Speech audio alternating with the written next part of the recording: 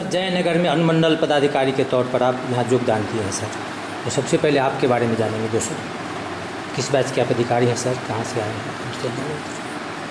हम यहाँ बक्सर से आए हैं। जी।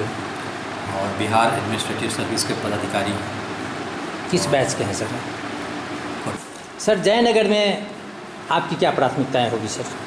सबसे पहले तो मैं आपको धन्यवाद देते हैं। जी आप यहाँ पर आए हैं। और साथ ही जो हमारे अनुमंडल वासी हैं जिला वासी हैं उनको भी मैं शुभकामनाएँ देता हूँ। मैं यहाँ अनुमंडल पदाधिकारी के रूप में ज्वाइन किया हूँ। फोर्टी सिक्स बैच के डिप्टी कलेक्टर हूँ। बी के पदाधिकारी हूँ। और इस अनुमंडल में मेरा प्राथमिकता विधि व्यवस्था के बढ़िया से संधारण हो योजनाओं का लाभ गरीबों तक पहुँचे और सभी कार्यों में पारदर्शिता हो शांति व्यवस्था बनी रहे भाईचारा बनी रहे।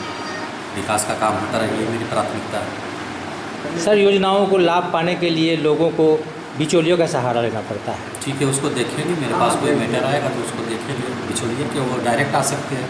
हम यहाँ पर बैठे रहते हैं हमारे प्रखंड विकास पदाधिकारी अंचल अधिकारी बैठे रहते हैं। लोगों को कोशिश होना चाहिए कि वो अपनी बातों को पदाधिकारी से मिल रखें।